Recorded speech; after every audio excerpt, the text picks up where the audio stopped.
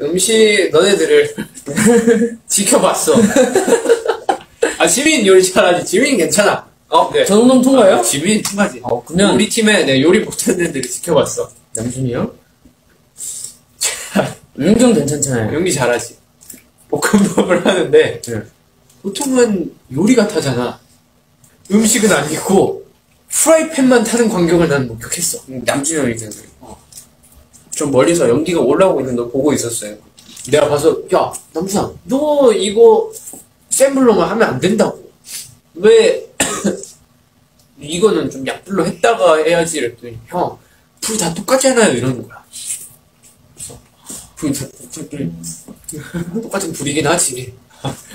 불이 똑같긴 하지. 뭐 딱히 할 말이 없는 거야. 저는 그 남준이 형이 천재인 게 저는 의문이 가요. 요즘에 예전에 뭐지? 남준이 문제적 남자 나왔을 때 그렇지. 제가 되게 제가 거의 다 봤거든요. 되게 재밌어가지고 남준이 진짜 똑똑하다는데 맞아.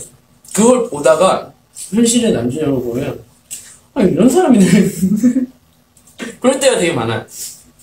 약간 어, 왜 그러지 이런 순간들이 되게 많은 것 같아요. 남준이는 우리 아니었으면 핸드폰을 한 300개는 더 샀을 거야. 그러니까 되게 부주의하지. 근데 되게 똑똑해. 맞아. 아, 남준이를 보면서, 네. 신은 공평하구나. 라는 걸 가끔 느껴.